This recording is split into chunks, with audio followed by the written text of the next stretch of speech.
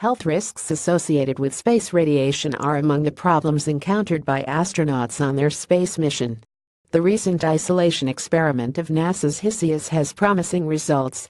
In line with this, NASA is using up its resources to seek weapons against the health hazards obtainable in the actual mission to the Red Planet.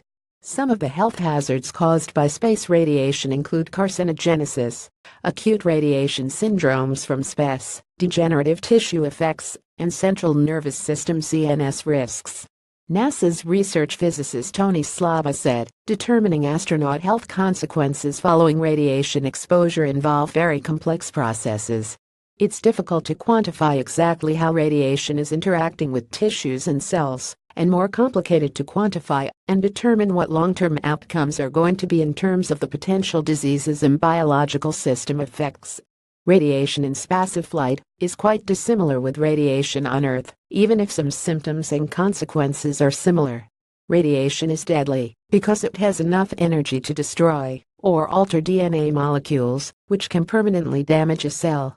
This could increase the risk of cancer and nervous system damage, NASA's HRP is exerting more effort and attention to the overall well-being of the astronauts. Peter Guida, NASA Space Radiation Laboratory liaison biologist, said the primary means by which radiation affects cells is by damaging DNA. Breaks and strands could be experienced. The cell will make an attempt to repair these damages. Sometimes it's effective, and sometimes it's not, and sometimes it can be misrepaired. Genes that have been misrepaired can become mutations, and the accumulation of these mutations over time can potentially lead to cancer. The U.S. President, Donald Trump, issued a mandate for NASA to speed up in getting people to Mars. 2033 was set as the deadline. After a few days, NASA responded with a very detailed plan in reaching Mars. The plan details five phases on the way to the Red Planet, the budget allocated to NASA is about 5% of the total U.S. budget. The round-trip duration is estimated to be around two to three years. In the NASA feature, Slaba said, in space, outside Earth's protective magnetic field and atmosphere, there is a very complex radiation field of protons, and all the elements on the periodic table are coming in at energies approaching the speed of light. SpaceX's founder and CEO, Elon Musk is in a rush to beat NASA in the race to get to Mars.